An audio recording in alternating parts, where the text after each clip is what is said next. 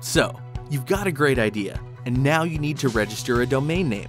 Follow these three easy steps to bring that great idea to life online.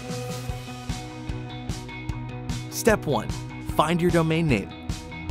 You've come to the right place. Find out if your dream.ca domain name is available by searching on choose.ca. Your domain name should be short and memorable, but still represent you and your brand online.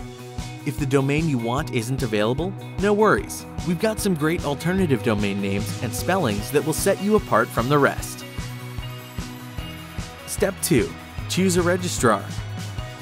A registrar is an online retailer that sells domain names and other services like email, hosting, and website builders.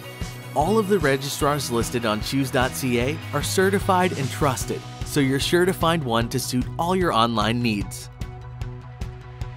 Step 3 Register your domain name. You're ready to register your domain name on your registrar's website. It's time to launch your great idea into that infinite online world. And good news research shows that Canadians tend to prefer and trust .ca websites when they search and shop online. And that's it. That's all you need to know to find and register your .ca domain name.